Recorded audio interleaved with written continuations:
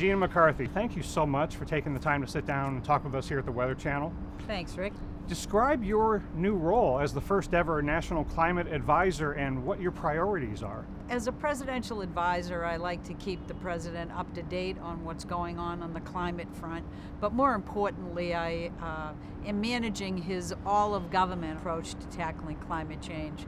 That's really what the president is asking us to deliver a climate plan that is strong on economic benefits, that will grow good jobs, union jobs, and that will allow us to invest in our infrastructure.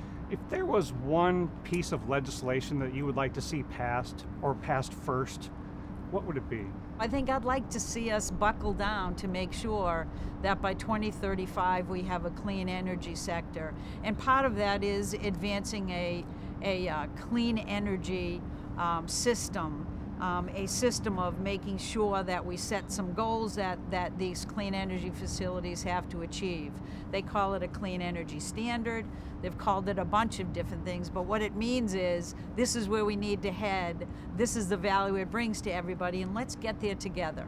And I think the utilities themselves are game for looking at these types of approaches. They've asked us to think about them because they provide lots of flexibility across the country on how to get to that clean energy future. While you were at the EPA as the administrator there, you made a, a very strong connection between environmental policy yeah. and public health. What are your main concerns from this point forward uh, with regards to health and the climate? Well, my main concern is that we have to invest in resilience. And we do have to get to this clean energy future because that means much less pollution.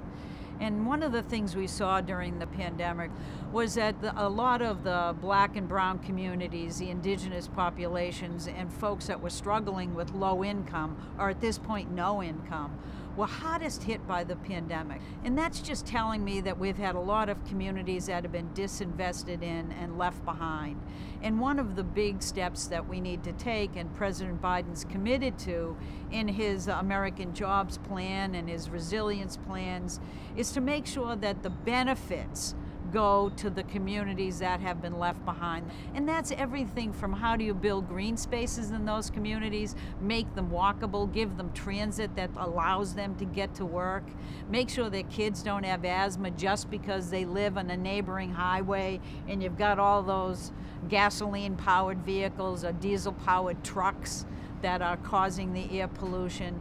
So there's a great marriage here of thinking our way out of the climate drama that's going to also deliver some real health benefits to the communities that need it most. How optimistic would you say you are about meeting the goals for 2035 and 2050 and how do you keep everybody optimistic in the face of such huge challenges with the climate?